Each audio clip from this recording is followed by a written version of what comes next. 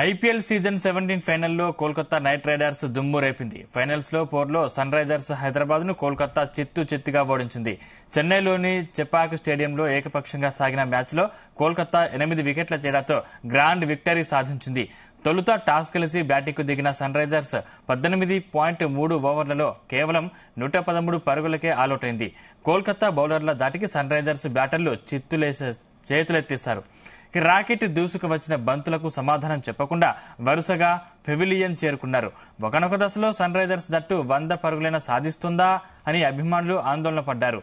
ఒక్కరంటే ఒక్క ఆటగాడు నిలకడగా క్రీజులో నిలవలేకపోయాడు. రావడమే ఆలస్యం పోవడమే లేటు అన్నట్లుగా కనిపించారు. ఫైనల్ మ్యాచ్ ఆడుతున్నాం చెప్పుకోదగ్గ స్కోరు చేద్దామని ఏ ఒక్క ఆటగాడిలో కనిపించలేదు. మొత్తంగా అందరూ కలిసి నూట పదమూడు పరుగులకే తట్టబుట్ట సరదేశారు. ఈ పదిహేడేళ్ళ ఐపీఎల్ చరిత్రలో ఫైనల్ మ్యాచ్లో ఇదే అత్యల్ప స్కోరు కావడం గమనార్హం. Sunrisers captain Pat Cummins ఇరవై నాలుగు రన్స్ చేసి పర్వాలేదనిపించాడు.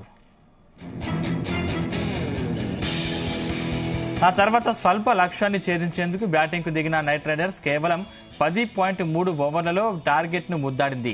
కేవలం రెండు వికెట్ల నష్టానికే నూట పద్నాలుగు పరుగులు చేసింది.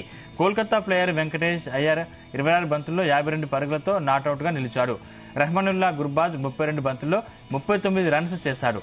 రెండో వికెట్కు నలభై ఐదు బంతుల్లో తొంభై ఒక్క పరుగులు జోడించి కోల్కతాకు భారీ విజయాన్ని సాధించి పెట్టారు దీంతో కోల్కతా నైట్ రైడర్స్ మరోసారి వరల్డ్ ఛాంపియన్గా అవతరించింది.